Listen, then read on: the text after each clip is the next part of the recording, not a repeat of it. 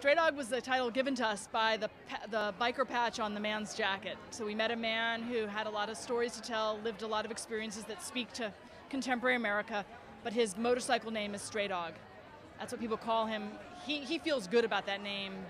It, it dealt with his, uh, his ability and desire to, to take in strays. He felt like a stray. He appreciates strays. He's a champion of strays.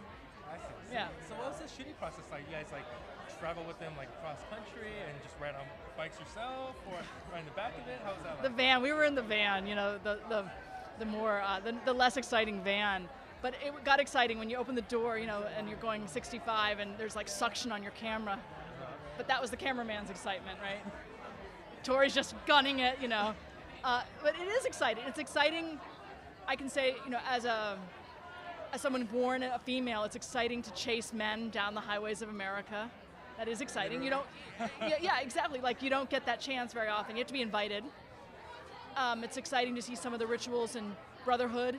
Some of the energy in that brotherhood is exciting to be around. So the What whole, is something you that's know, really uh, that's something that you couldn't believe that, or don't know, something?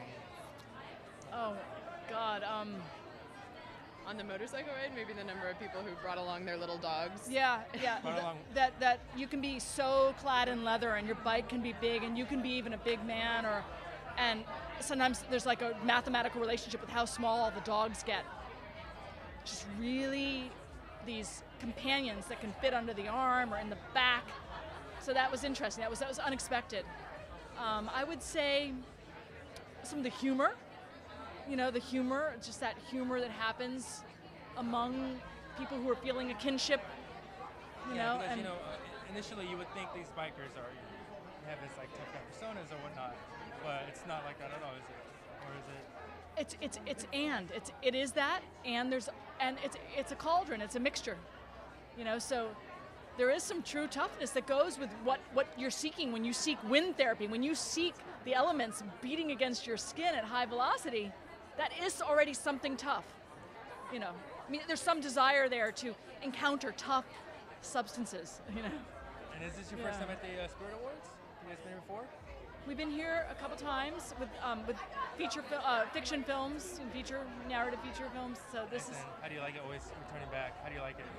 I'm so glad. I think the organization has gotten powerful in, in the right kinds of ways. The arms of, of its where it reaches to have really expanded in terms of nurturing filmmakers, educational programs, laboratories, both on the east and west coast. So it is exciting to see that instead of these independent uh, organizations contracting, their roots have gotten stronger. I feel. I, I mean, you know, right now we look for optimistic things. This is one of them. I think.